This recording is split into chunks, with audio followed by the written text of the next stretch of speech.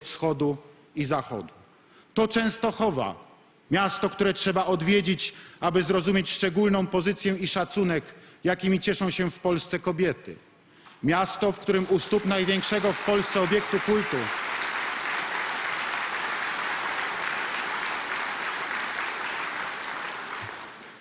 Miasto, w którym u stóp największego w Polsce obie- obiektu kultu, przed ikoną jasnogórskiej pani, rozbrzmiewa wciąż Bogu Rodzica.